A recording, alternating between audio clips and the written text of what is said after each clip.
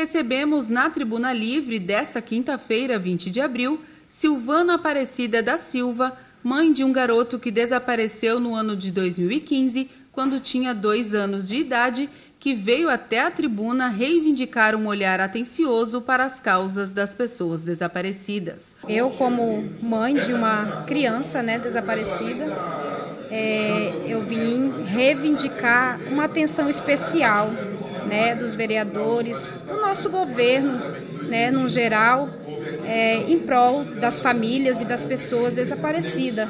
Né? Nós temos poucas informações. Né? O núcleo que cuida dessa, das pessoas desaparecidas e, e das famílias é um número bem reduzido, né? E como eu disse ali dentro, eu já bati muitas portas fechadas, né? Eu tenho lutado há oito anos para encontrar o meu filho, mas muitas vezes eu tenho nadado sozinha, né? Então nessa manhã nós viemos reivindicar uma atenção especial, ajuda para que possam ser feitas leis, é, possa ser feito algo que possa estar tá dando esse apoio, esse suporte que muitas vezes nós não temos, né? Após o desaparecimento, as primeiras horas são feitas alguma coisa, mas ao passar dos anos somos esquecidos e não tem nada que possamos fazer, né? Então hoje nós viemos reivindicar alguns direitos que nós temos, né? Como pai, como mãe de uma pessoa que foi nos arrancado, saber o que aconteceu. E hoje eu vivo essa impunidade de não saber onde está meu filho, de não ter uma linha de investigação, de não ter pistas alguma.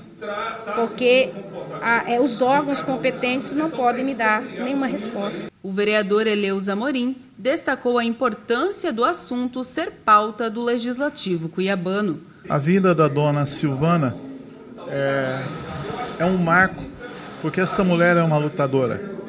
Ela teve um filho retirado dela com dois anos de idade. Depois de oito anos, ela brigando, filho dela hoje tem dez anos, ela continua lutando para poder localizar o seu filho.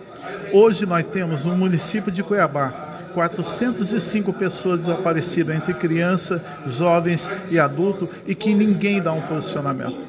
Assim como ela, mais 409 pessoas continuam chorando no município de Cuiabá. O que ela luta é a mesma luta que essas pessoas também lutam para poder encontrar os seus familiares. Eu espero que agora, com essa participação dela na audiência pública e também na tribuna, ela tenha comovido para que os vereadores cobrem das autoridades providência para buscar e solucionar esse desaparecimento.